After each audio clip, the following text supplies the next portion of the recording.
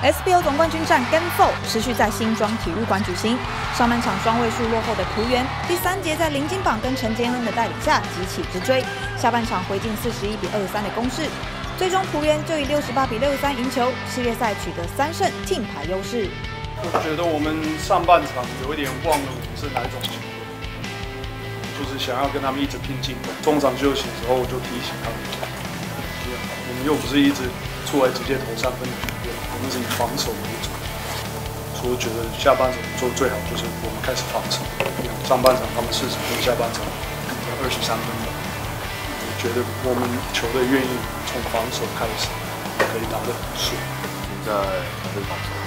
因为大家其实下半场，因为上半场讲真的就是打得很烂，然后下半场其实上去之后，其实大家有这个意识，那防守做起，团队防守，我觉得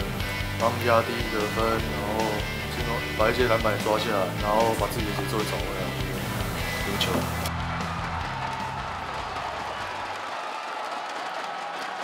接连受伤啊，帮就一开始不能打，然后我们上半场打的还不错，可是下半场的时候大吉的手目前可能我不敢提到讲，可是因为他听到一声有点类似打喇叭在日本那样，所以他刚刚手有点已经举不起来，